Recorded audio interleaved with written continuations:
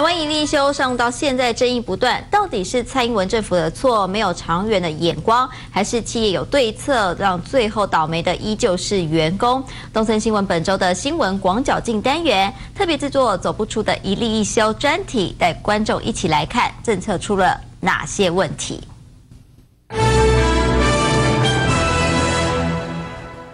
一定休上路将近半年，台湾主计总处公布国人加班费平均来到一千六百八十五元，创下新高。但是扣除物价涨幅之后，却比十七年前还要低，让民众直呼，不管是加班费还是月薪上涨，根本无感。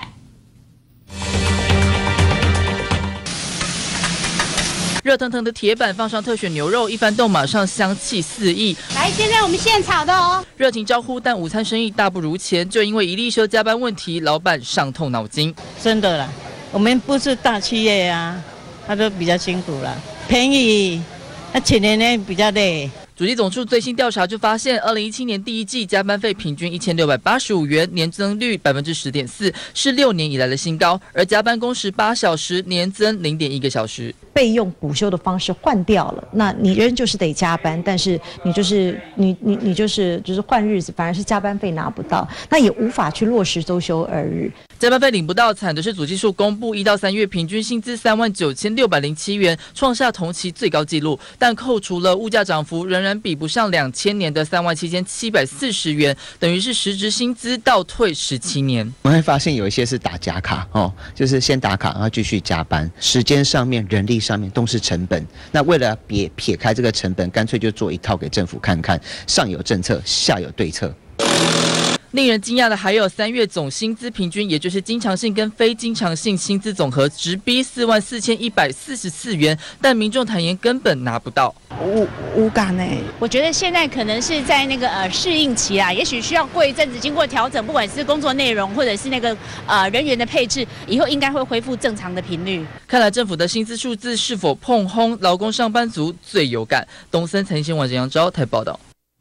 面对一例休争议扩大，为此二十一位的民党立委就提案修法，引入了工时账户制，希望每个月加班工时从四十六小时增加到五十四小时。不过也引发了网友痛批，砍掉几天假又变相要劳工加班，怎么活得下去？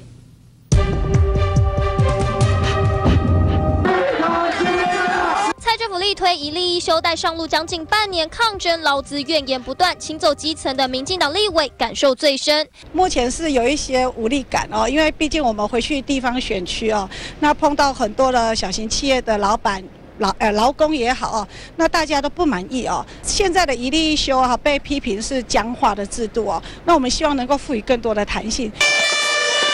地方得承受第一线民怨，让民进党立委及跳脚二十一人联署提修改，包含将原先月总加班工时四十六小时的上限改以三个月为一期的工时账户制，最高定为单月五十四小时。另外休息日加班原为做一小时给四小时，做五算八，现在也拟修法为做一算一。老板说：“我我不要让你加班了，所以变成是劳工看得到吃不到。所以呢，我还是希望可以改回修回原来的核实计算。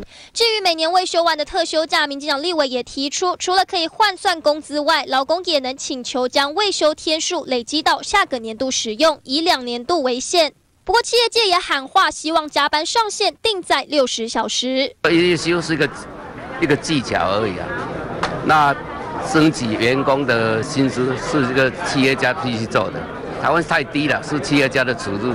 一例一休通过，只是有执政党立委提案修法，引爆网友怒火，砍掉七天假又变相要劳工加班，真是好棒棒。物价涨，薪水又变少，要怎么活得下去？就连民进党立委林淑芬都痛批，劳工要的是加薪，不是加班。一例一休修法是不是唯一解药？恐怕还有待观察。东森财经新闻刘志兴、黄福祥台北采访报道。台湾一例一休绑死的加班时数，不止造成绿营支持度出现崩盘的危机，就连丝袜工厂董事长魏平已痛批，劳基法成了贵族劳工条款，结果是政府根本没有替企业做长远的考量。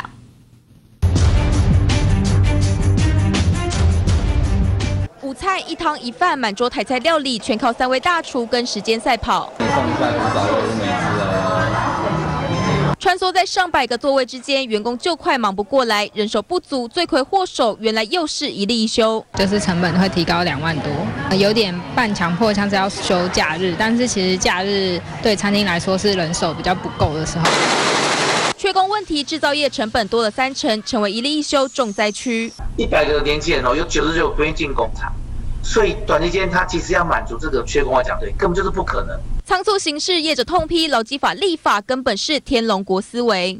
贵族的劳工条款，比如说中国石油员工，对，一个月薪水十万块钱，他根本不差，不差有没有加班，不差有没有多一天上班，可对那两万多块、三万多块的的。工作人来讲，中南部感受最深刻，部分企业只敢接七成订单，人才挑选更加追求一个人抵两个人用，求职环境雪上加霜。只有大约三成企业打算为员工加薪，求精不求量。好，那呢能够能够多配合公司的政策，配合公司的上班的相关的一个呃配套。劳工怒吼，连企业主都站出来力挺。对比小英政府持续沉默，自家党员变成过街老鼠，每跑一场拖就被骂一次。然后甚至哦，我们在哦这个不论是喜宴的场合也好，或者是哦一些活动的场合，只要是民众遇到我们，就开始骂这个一例一休。立委也统计，彰化为例，市民加班费一年平均就要少赚六千元，两败俱伤的劳资关系，看来绝不是时间能冲淡一切。东森财经新闻刘志张博祥台北采访报道。在关注立法院司法委员会最近通过政务人员退职抚恤草案，外部长及以上的退休金将全面的缩水，而且法案更可能追溯既往，连前副总统连战也大受影响。就像电影里魔头要把世界吞噬，部长级的月退金也快要把全民的纳税钱吃光光。有领取退职酬劳金，也就是包含月退及优存的政务人员，现在总共两百三十五人，平均月领将近十二万，其中最高的就是前副总统连战的二十六万元。有些在职务上的工作的时候，其实薪水就呃很高了，你领这么多，不如把多的钱拿去帮助其他更需要帮助的人。原来两千零三年以前转任部长职，只要满两年就能并计常任年资，包括副总统以及直辖市长都适用。以本俸来计算，公务员最高只有五万，部长级就翻了两倍，月退金差很大。啊，只做两年就领了两倍，那这是非常不合理的部分啊。那这个是由谁负担？都是由国家。而司法委员会已经通过政务人员退职抚恤条例草案，其中行政院跟考试院的月退金版本都还在九万以上，而民进党则是想砍到八万以下。时代力量的版本更是让月退金一口气打五折。是未来的政务官退休，还是以最高的文官职等？去做计算，这样才合理的。不要是本俸乘以二，好像公务人员这样，应该是乘以一点七，升政务官变成一个，嗯，怎么讲，酬庸，那甚至是为他退休做准备的。整个改革的话，不能就是非高官受小利。这好啊，怎么连战那么有钱，还领那么多钱干嘛？退休部长还能年领超过百万月退，民众纳税钱缴得好心酸，只盼望改革的脚步能快一点。东森财经新闻杨昭台报道。知名跨国企业吹起裁员风，台湾太古可口可乐证实，十月起将关闭高雄燕巢的厂区，并且优退六十名的员工，另外三十名员工退休。至于登陆北美地区的中国乐视，也要大裁员，三百五十四人，比例高达八成五。台湾太古可乐砸重金请来日本影帝阿布宽代言旗下茶饮品牌，不过招牌饮品可口可乐的高雄厂却传要吹熄灯号。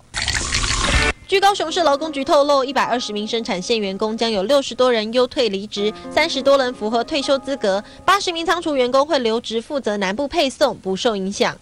这是红茶之类的，一杯奶茶。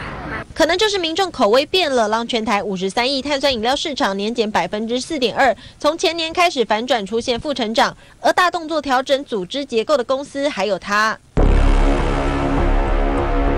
大楼外观就像五角大厦，乐视美国总部二十四号宣布裁员三百二十五人，目前员工数只剩九十人，恐怕得弃守全球扩张政策，把战线拉回大陆市场。美国市场，我们用三年的时间打好基础。呃，我们不满足于在中国成为第一，我希望我们在全球成为第一。不但在大陆 A 股复牌迟迟未有消息，如今还得海外收兵。对照日前的雄心壮志，看来乐视眼前考验将更加严峻。